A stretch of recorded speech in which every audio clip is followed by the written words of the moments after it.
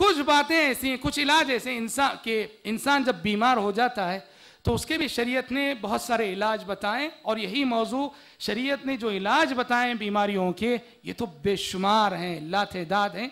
कुछ बातें मैं पेश कर अपनी, पेश करके अपनी गुफ्तु ख़त्म करता हूँ।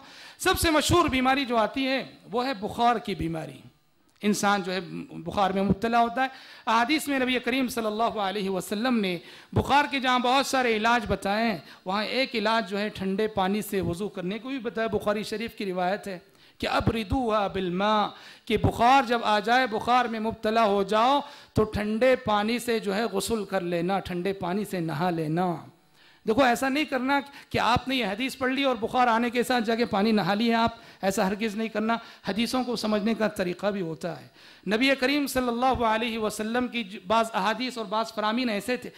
आपकी अक्सर अक्सर नहीं, अब असल ये है कि आपका हर हुक्म सारी इंसानियत के लिए, सारी बस्तियों के लिए, सारे ममालिक के लिए।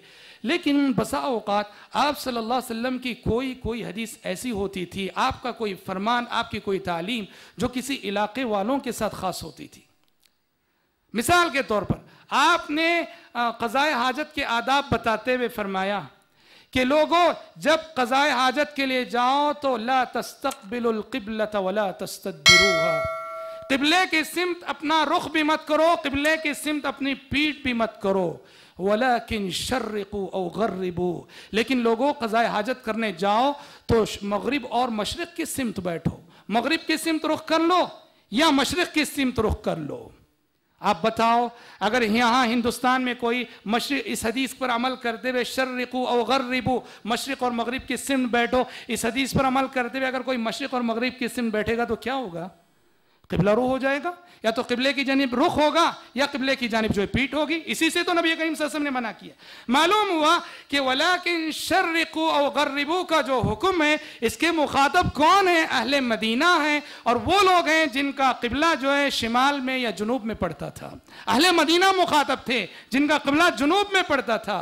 उन्हें अगर ख़जाए हाजत के वक्त किबला रू होने से बचना है तो उन्हें मशरक़ और मगरब के सिम बैठना पड़ता था। तो नबी करीम वसम की बाज़ अहादीस तो अहले बताते हैं कि हिजाज का जो इलाका है, मक्का मदीना का जो इलाका है, मक्का मदीने का इलाका ये सख्त गर्म इलाका। और गर्म इलाके में आने वाली बुखार का बेहतरीन इलाज कहते हैं कि जो है ठंडे पानी से वज़ू करना। और दूसरे इलाकों में भी, दूसरे इलाकों में भी बास खास हालात में डॉक्टर इसको मानते हैं।